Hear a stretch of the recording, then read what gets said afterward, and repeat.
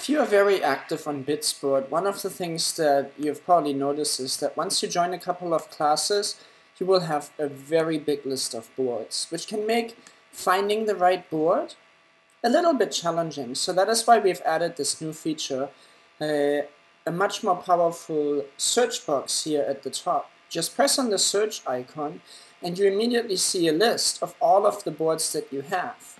Now what you can do here is two things. You can very quickly narrow things down by uh, entering keywords. So if you want to just look for the action word boards, you will find them here. Or if you just want to look at boards for kids, or sight words for example, here you go.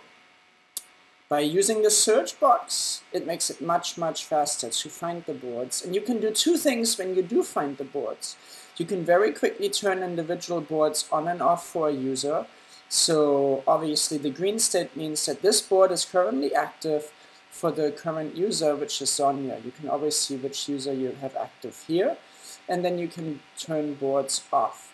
You can also press on any board to enter the edit mode. Now if it's a board from a class, you first need to copy it to make this board your own. So let's do that and there you go. Now you can very quickly edit this board. So use the search feature here at the top to very quickly find the boards that you want to work on, especially if you have already uh, have a lot of boards.